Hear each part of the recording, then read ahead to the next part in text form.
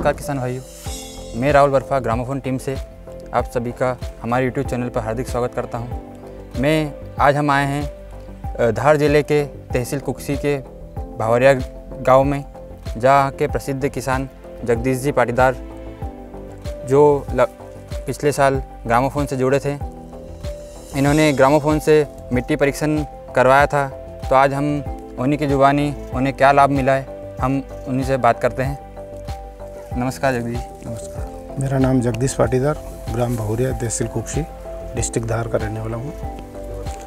मैंने ग्रामोफोन से मिट्टी परीक्षण करवाया था और मैं मुख्य तौर से सब्ज़ी की फ़सल लेता हूँ। वैसे सब्ज़ी में मिर्ची मिर्ची मैंने लगाई थी मिट्टी परीक्षण करके। उसमें मेरे को मिट्टी परीक्षण में जो डिफिशेंसी थी अच्छा। उस चीज़ की मैंने एक्स्ट्रा मतलब उसमें डाल कर ज़्यादा उत्पादन लिया है। तो आपको इसमें क्या क्या कमियाँ आई थी या क्या चीज़ ज़्यादा थी आपकी मिट्टी परीक्षण करवाने के बाद? फास्फोरस ज़्यादा था पोटास ज़्यादा था हाँ। कैल्शियम ज़्यादा था। अच्छा। बोरान और माइक्रोन्यूट्रेंट की थोड़ी डिफिशियंसी थी वो अपन ने तो आपने फिर फॉस्फोरस की मात्रा को कम किया और कैल्शियम की मात्रा कम किया? कैल्शियम कम किया फास्फोरस भी अपन ने कम डाला है उसमें। तो उससे उत्पादन में क्या फ़र्क आया उत्पादन में अपने को 20 परसेंट से ज़्यादा की बढ़ोतरी रही है। अच्छा। तो और लागत में कमी आई है। लागत में कमी आई कितने परसेंट का ज़्यादा आपको उत्पादन मिला है? करीब बीस पच्चीस परसेंट के आसपास। अच्छा। तो आगे आप हमारे किसान साथियों को क्या सलाह देना चाहते हैं ग्रामोफोन के बारे में?